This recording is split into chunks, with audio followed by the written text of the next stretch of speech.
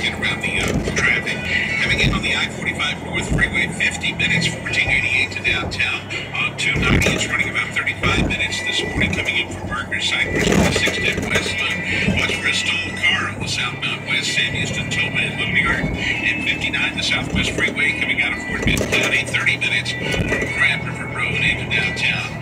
This Total Traffic Network report is brought to you by Kroger.